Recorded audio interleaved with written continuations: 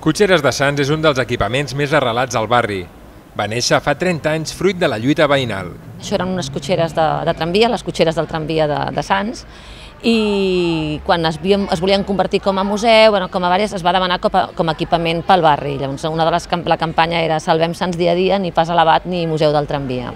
Amb el temps, Cotxeres s'ha convertit en un dels centres cívics més emblemàtics del districte i de la ciutat. Cotxeres és conegut arreu, es coneixen més cotxeres que, que Sants, potser no, però gairebé. Tu vas amb qualsevol taxi i li dius a Cotxeres i no cal dir-li l'adreça, et porta a la carretera de Sants. Actualment les cotxeres són el punt de trobada de més de 200 entitats del barri. Un exemple n'és el col·lectiu d'artistes de Sants, que va néixer tot just quan es va fundar l'equipament. És com si entrés a casa meva. És un, és un espai que, bueno, que em comunica molt, és un espai que, que és tan important com la meva casa, no? perquè clar, aquí pues, jo em reuneixo amb els companys, aquí pues, parlem d'art, eh, l'art forma part de la meva vida, no? Cotxeres també és conegut per la diversitat de tallers que ofereix.